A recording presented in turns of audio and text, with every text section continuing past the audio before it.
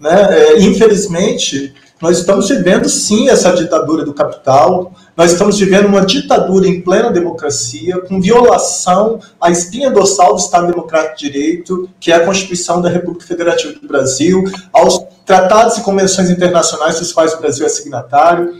É inadmissível você verificar que, dentro dessa Constituição cidadã, em que se preceitua que todos somos iguais perante a lei, que todos temos direito à saúde pública de qualidade, as pessoas estão morrendo nos corredores dos hospitais públicos, mesmo antes da pandemia.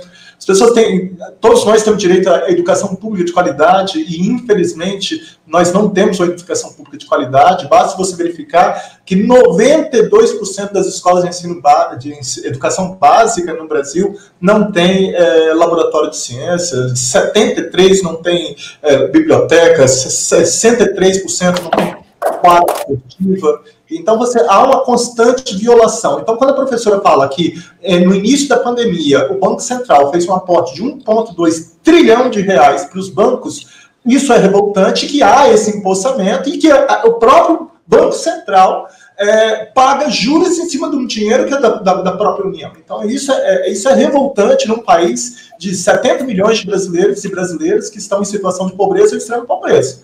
Essa é a realidade. Nós estamos em 459 municípios no, no país em situação de pobreza e extrema pobreza. Mas, infelizmente, esse não é um, um governo para as mulheres, para os negros, para a população LGBTI, para os índios, para a população quilombola, é, para os pobres. Esse é um, um governo para os banqueiros e para os grandes empresários.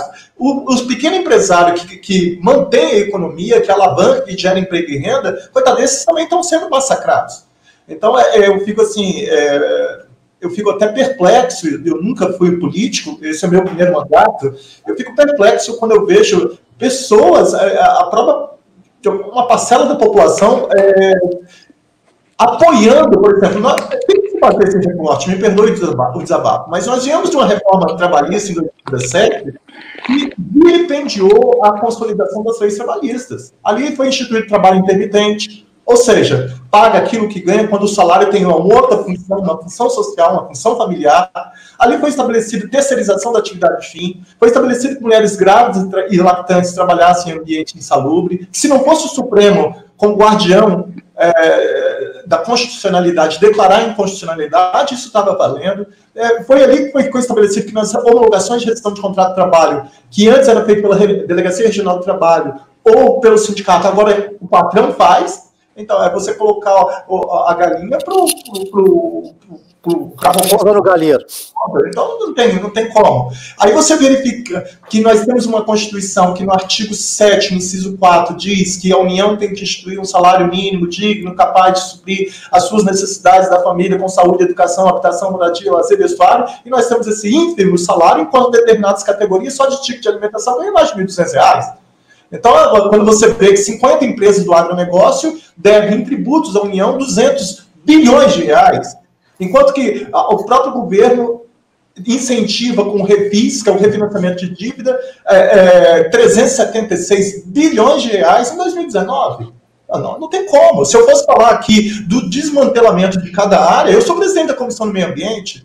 O governo federal queria acabar com o Ministério do Meio Ambiente de direito, mas não, ele não conseguiu de direito, mas ele acabou de fato. Ele acabou com a Secretaria de Mudança Climática, ele acabou com o Plano de Combate ao Desmatamento, com o Departamento de Educação Ambiental, criminaliza ONGs, tira a participação da sociedade civil, funcionários do IBAMA e ICMBio estão sendo vítimas de assédio moral, quer dizer, enfraquece os órgãos de fiscalização, acaba com, com o Departamento de Educação Ambiental, e nós temos uma legislação que garante não a sensação, mas a certeza da impunidade.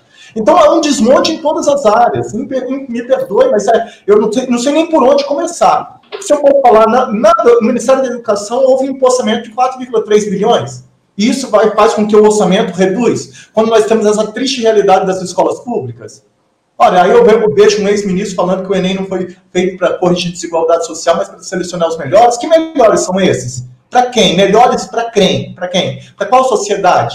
Eu tenho muito orgulho, não por vitimismo, mas eu venho de uma família muito pobre.